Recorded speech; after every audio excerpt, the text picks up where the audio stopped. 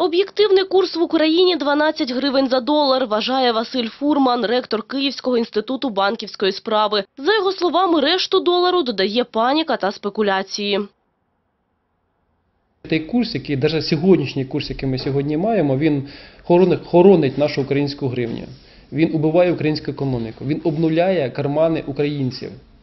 І оптимальна величина курсу, яка повинна бути от така компромісна, як на мене зараз, це 12 гривнів. Протягом найближчих кількох тижнів піке нацвалюти не зупиниться, вважає виконавчий директор фонду Блейзера Олег Устенко. За його песимістичним прогнозом, долар продаватимуть по 20 гривень. Як минимум э, еще несколько недель продолжится такой вот э, существенная волатильность, рыночная волатильность будет присутствовать. Э, Основная причина, почему все это э, происходило, и, э, прежде всего то, что резко обмельчали золотовалютные резервы страны, 12,5 миллиардов долларов.